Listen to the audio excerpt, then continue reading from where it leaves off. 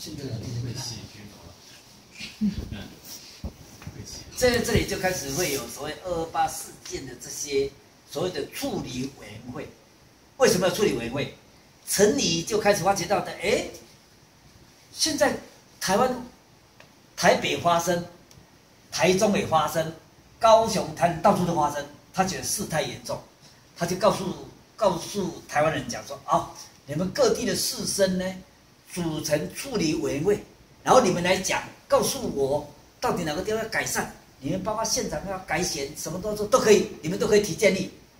那二八委员会都是谁谁来做？当然是当地的士绅、当地的医生、医生、老师、校长，哦，哦，什么三民主义青年团这些这些知识分子有有势有有势力的人，是吧？会热，太热，太热了。听得热血沸腾。对对对对对对，没有那么严重了。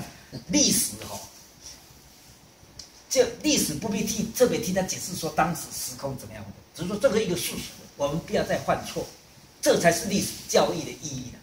为什么？因为如果说要解释这个历史的话，大家我讲我们讲这个立场以及看吧这种立场，解释解释不完。但是历史就说这些做错的事情不让他再犯，这才是历史教育的目的，是这样一个想法。哦，所以你看这里的这里，你看这这里的这些都是，你看像这边也是一样啊，像这一个所谓的张七郎，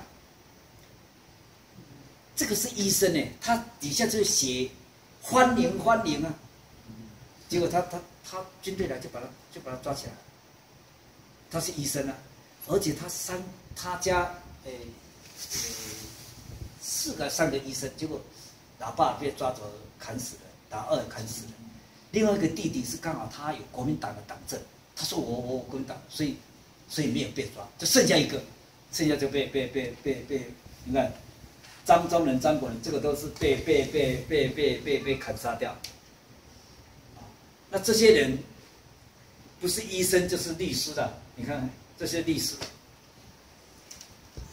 他们其实相当于有个自治的一个萌芽，就像不是自治这个时候处理委员会啊，他只是说陈理告诉他们说，你这一个，比如说，哦，比如说武汉，好，武汉市的人组成一个武汉市二二八处理委员会，来告诉政府说，好，我们这里不是自治哦，怎么样去做所谓的这一个安抚民心？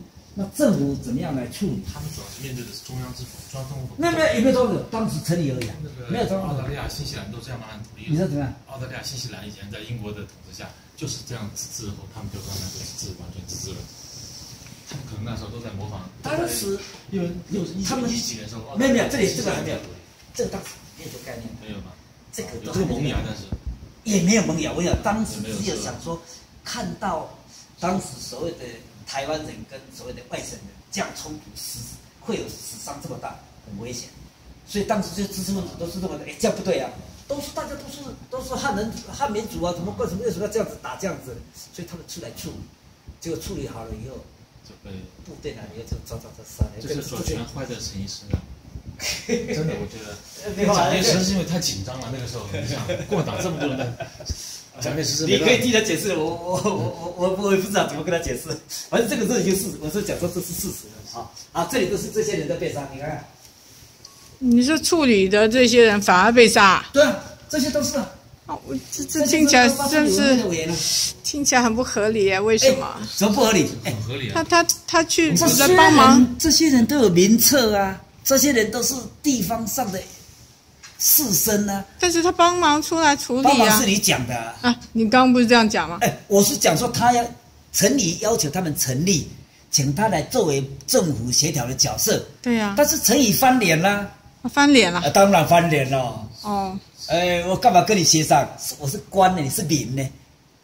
长期的中国政治家，中国的政治家的是衔接跟英国他们不太一样，所以英国殖民地的人慢慢都独立了，加拿大、澳大利亚、马来西亚都过得很好，新加坡过得很好，但台湾不幸，他们是在 所以即使这个就是说你说所以说独立好不好？这另外一个，就是说你要有怎么样，有一个要有自治，国家这个地住在这里的人要幸福，哦，要这样子才对。好，这里这个像这个画，这个画家，现在这个画家，这个画家也是，这个画家更是，他是非常的，怎么讲？他因为他会讲讲，当时会讲所有的华语，会讲北京话。这个画家，他也去，他也去中国教过书啊，所以他会讲，会讲，会讲，所以他就来。你看，陈金波日治时代怀有中国民族意识哦，战后欢迎国民政府热切投入政治改革，还当选市议员。你看，然后因为他会通晓北京话，所以他就去协商去当翻译，就部队来就抓走，就把把他打死了。你看，就死在这里啊！你看，哎，呃，就这样。他太太知道说这个是一个历史事件，是一个冤屈。一般台湾人死人不照片的，没有人说死，没有人死去拍照片的啦。但是他知道这个是冤死、冤冤枉死的，所以抬回来以后还特别给他拍照。哎，当时拍照不容易，你不是现在说照相机拿了就，六七十年前的那个照片底片是很贵的呀。哎，那这个特别还把它拍下来。啊，这边你看这里也是一样，司法界、新闻界，都是当时都是知识分子啊。哎，来。帮你们看一下这个比较让我们感到的。国民党、共产党都最怕知识分子，是不是？文革也是知识分子一样的。这个就是要像你看看，当时二八发生的时候，男的被抓走了，那女的呢？你看家里剩下几拿嘛？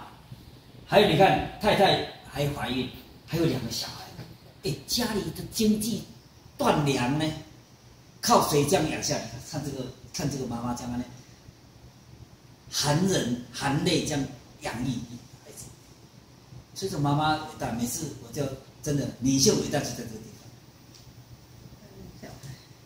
这个是一个创作的，一不，他把当时时空的悲哀把它具象化。哦。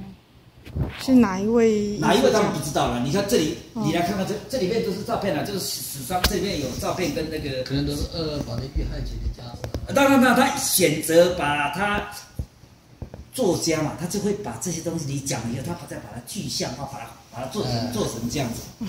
啊，事实上就是这么悲哀啊。嗯，对不对？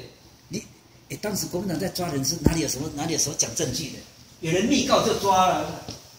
那你要来，你要来，你要谈事情拿钱来，所以黄金金条这样子这样子塞。不能打败。所以所以国民党这帮人，对呀，小米加步枪都把他打败了。对对对对，没有错没有错。这美国都不想帮他。对呀，对啊，大会不会可能不是朝鲜战争。对对对，你很了解，没有错没有错没有错。去了。对对对，没有错没有错。是。哦，那你很了解。金家救了蒋介石。对对对对对。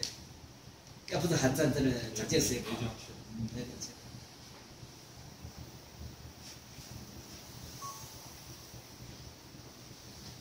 来，我们看这边，看看家属的意。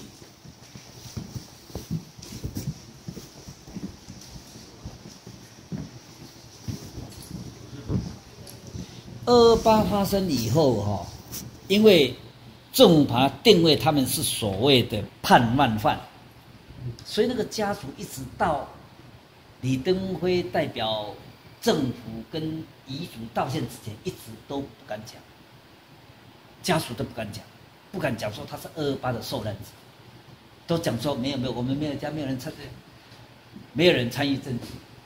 啊，后来二二八平反了以后，这些人政府，这个李登辉代表政府跟他们家属道歉，还颁发这个呃证书给他们，说他们不是叛乱犯。哪一年平反的？呃，大概李登辉那个时候代表政府平反的。九十年代。啊？九十年代平反。哎，差不多吧，在对对，差不多跟在十几年的十几年，所以他们就开始出来，就开始会比较敢讲，但是大部分还是不要讲，因为已经有的老一辈都已经干脆都不讲，因为那个恐惧太大。你不要看那个那个照片，这个东西是一个事实的，也不是模拟出来的哦。可是想对那个妈妈来讲，她会教育孩子怎么讲？政治不要参与啊，不要。所以台湾人有一句话就是，政治听听就好，不要参与。台湾人。参与政治是这几十年才开始有有有政治，以前不会有人参与政治，对不对？对呀，哎，好啊，这里就是他们的这个，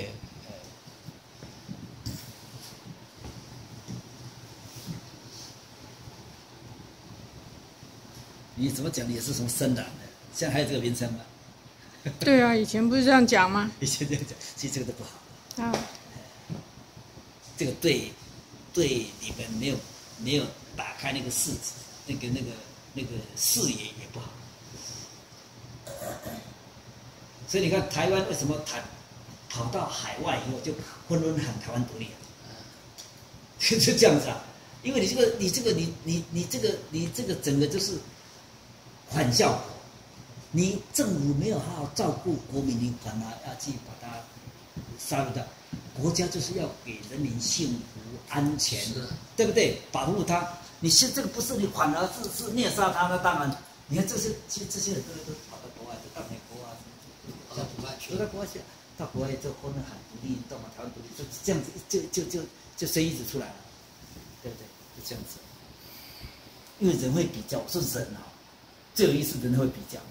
你这个什么时候，这个什么时候，就像你去上班，公司这个前一任董事长跟这一任董事长的这一个福利好不好，人家比较出来了，很快的比较出来。